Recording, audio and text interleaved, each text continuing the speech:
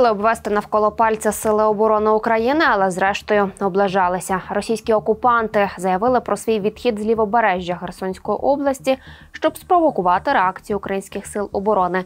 Однак вона не послідувала. Про це повідомила речниця Сил оборони Півдня України Наталія Гуменюк. Після невдачі в армії РФ почалася паніка, тому заяву довелося анулювати.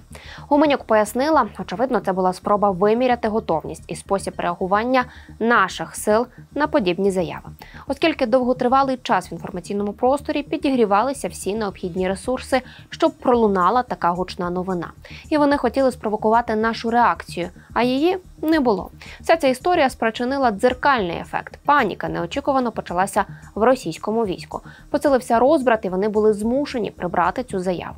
Речниця пояснила, у росіян дійсно морально-психологічна ситуація в підрозділах, які знаходяться на лівому березі, наближена до критичної.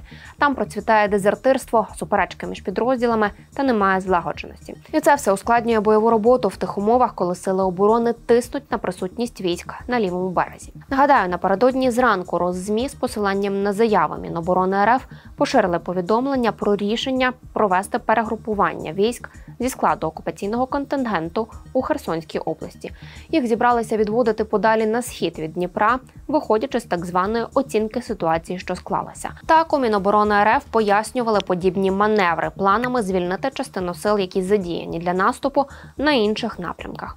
При цьому трохи пізніше таку заяву РФ про перегрупування сил на окупованих районах Херсонської області було анульовано.